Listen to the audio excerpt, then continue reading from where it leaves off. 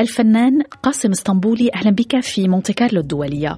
تحية لحضرتك ولجميع المستمعين. احتضنت أم المدن وسيدة البحار مدينة صور التاريخية في الجنوب اللبناني وعلى مدى يومين تظاهرت أيام صور الثقافية. تميزت هذه الأيام بتعريفها بملامح المدينة من الناحية الثقافية والتاريخية. فهل لك هيك أن تعطينا فكرة آه، عن هذه الأيام التي أطلقتها جمعية تيرو للفنون إلى جانب مسرح اسطنبولي؟ آه، بالحقيقة هيدا هيدي الدورة الأولى لمهرجان أيام صور الثقافية هذا المهرجان اللي بيهدف أنه يفرجي الوجه الثقافي والحضاري والتاريخي لهذه المدينة وهدفه يدعم الفنانين المحليين يعني الفنانين الموجودين بمدينة صور والجنوب إنهم يقدموا أعمالهم بالمسرح الوطني اللبناني بشكل مجاني للجمهور. كان المهرجان عبارة عن معرض للحرفيات اللي كانوا النساء عم يعرضوا أشغالهم وحرفياتهم اللي بتفرجي صور من خلال المنتوجات المختلفة والصور الفوتوغرافية وكان في رسم حر عم يرسموا الطلاب مدينتهم مثل ما هن بيشوفوها. إضافة للعروض المسرحية والسينمائية اللي كان عم ينعرض فيلمين سينما اللي هن فيلم آه، العودة إلى ساو باولو وفيلم ثاني تصور وفريق العمل كله من داخل مدينة صور اللي هو فيلم بابور بالإضافة لعروض حكواتية ومسرح وموسيقى.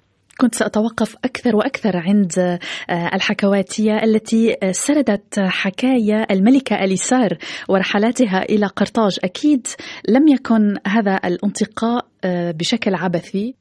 الحكواتية رجاء بشارة قدمت هالحكاية اللي طبعا اشتغلت عليها خصيصا ليكون ضمن مهرجان أيام سور الثقافية.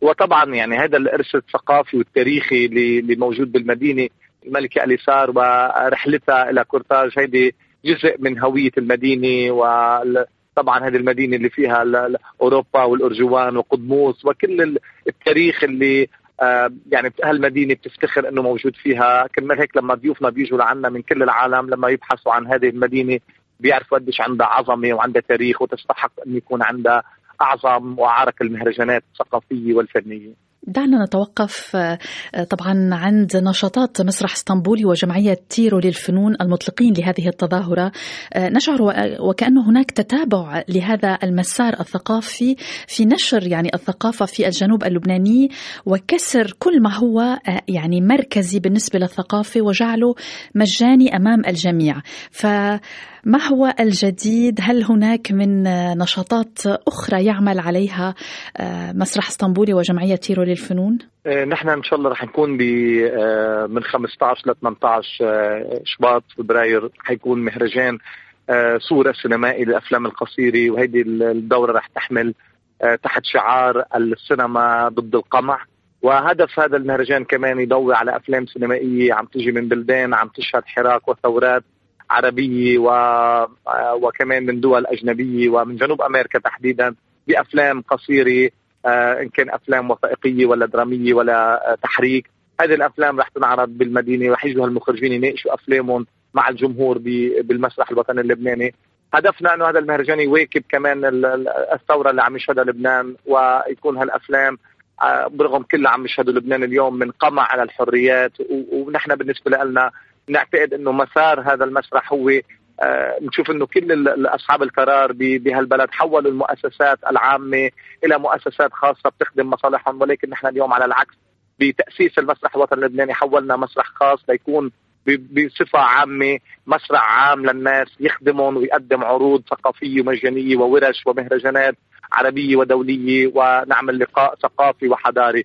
سؤال أخير عن العودة إلى ساو باولو. آه، هو فيلم كان من بطولتك ممكن هيك أن تعطينا لمحة بسيطة عن ملامحه آه، هذا الفيلم تصور بساو باولو بالبرازيل بشهر 8 آه، العام الماضي. وهو من إخراج المخرج ياغو هاتوري ومع فريق عمل كله كان من البرازيل. بالنسبة لي هي تجربة إنه نعمل هذا الفيلم. وهيدي الرحلة يعني بناء عن قديش نحن ممكن نهاجر على بلدان بحثا عن أحلامنا ولكن أحلامنا قديش ممكن إنها تروح بلحظة ولكن بيبقى الأمل.